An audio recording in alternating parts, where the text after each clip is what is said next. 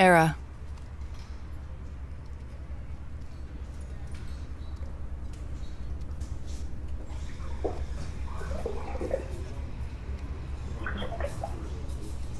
I've switched to blue. I used to grab and collect red objects, beads, blankets.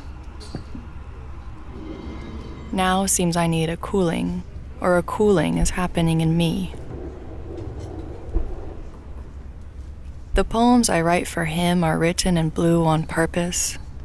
I'm embarrassed for trampling in someone else's romance, even when he quickly rose to the occasion of leaving.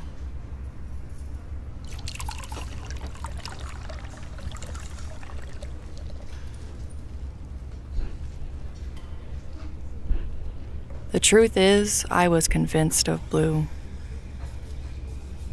I read the book on its heavy clarity, its best ribbon beauty. I miss my own young love for red. Its impulse, its head over my heels, never deliberate.